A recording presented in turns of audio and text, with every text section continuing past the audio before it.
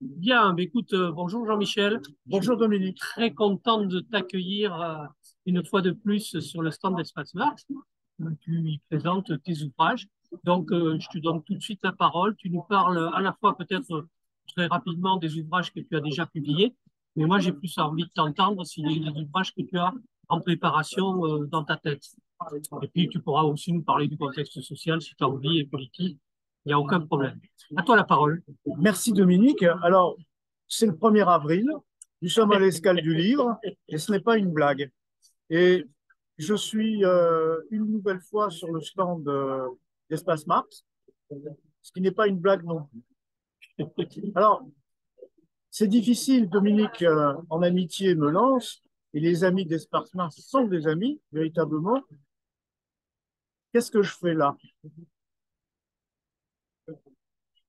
Je pense que je manifeste d'abord euh, pour moi et pour les autres une fidélité.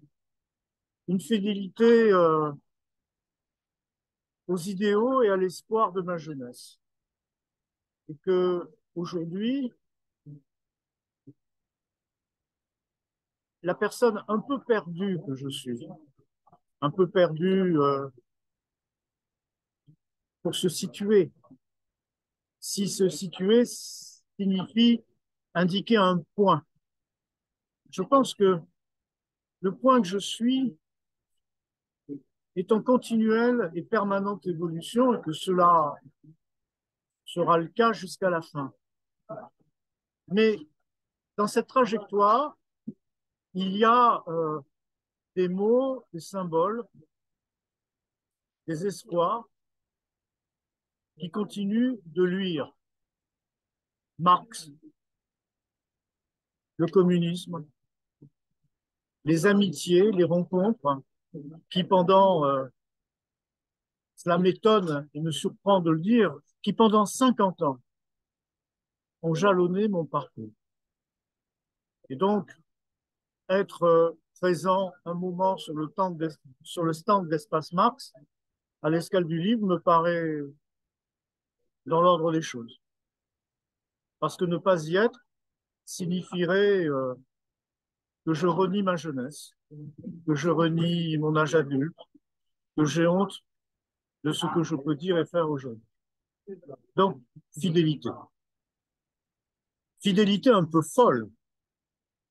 Marx, le communisme, les rencontres pendant 50 ans, c'est de la folie.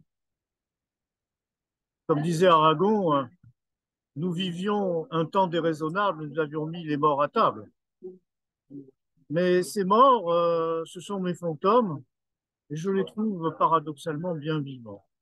Ils continuent de me faire chanter. Et d'aucuns diront que je brode et que je joue au poète, mais mes petits bouquins que je publie maintenant depuis une dizaine d'années ce sont des chants. C'est ce qui me permet de chanter avec mes morts. Je suis, euh, et ce n'est pas une coquetterie de dandy, je pense qu'après moi, il ne restera rien de mes livres, mais écrire ces livres, en parler avec mes lectrices et mes lecteurs, cela me fait du bien. Je ne me soigne pas, ce n'est pas de la thérapie, J'ose espérer que c'est véritablement de la littérature. Écrire de la littérature me fait du bien, me permet justement de traverser l'existence, d'avancer en âge et de continuer à dialoguer avec les morts. Parce que dialoguer avec les morts, c'est être bien vivant en ce temps. Alors justement, euh, Dominique l'a suggéré. Euh, je suis ici euh, pour euh, présenter Garonne in absentia et puis le petit livre qui a précédé Scène de la guerre sociale. Et puis, je dois dire aussi que je suis content. Il y a huit jours, j'ai fini le premier jet de mon prochain roman qui s'appellera Une désarmée des morts. Une désarmée des morts, vous l'entendrez comme vous, comme vous voudrez. Vous verrez, il y a deux graphies. Sur la couverture, il y aura une désarmée, être désarmé des morts.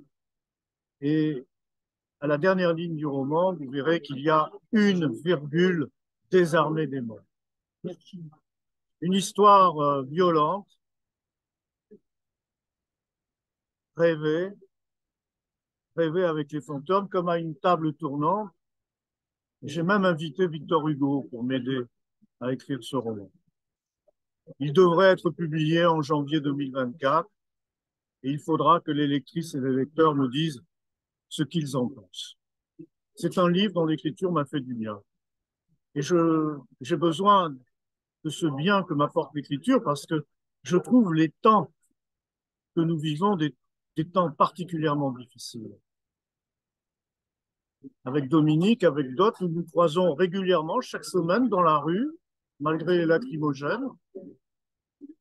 On tousse un peu, on a les yeux qui pleurent. Mais ce sont des temps terribles, je dis terribles. Vous vous souvenez, Bob Dylan, je le dis en français, pas en anglais, il avait une très jolie chanson. Les temps vont changer. Je trouve que les temps ont changé et c'est bien qu'il y ait des femmes et des hommes comme nous qui ne changeons pas. Ou... En fait, nous devenons, mais nous devenons toujours avec ces mêmes morts. Marx, le communisme, la fraternité, le partage. Et en fait, chaque semaine, euh, quand je croise Dominique et d'autres dans les manifs, le temps de la manif, j'ai l'impression que j'ai encore 15 ans. Ça me fait du bien d'aller en manifestation parce que je rajeunis. Ça me fait un bien fou. Et je trouve que notre pays, notre peuple, et parfois même mes amis, il ferait bien d'aller en manif parce qu'il rajeunirait. Et ça ferait vraiment un bien fou à tout le monde.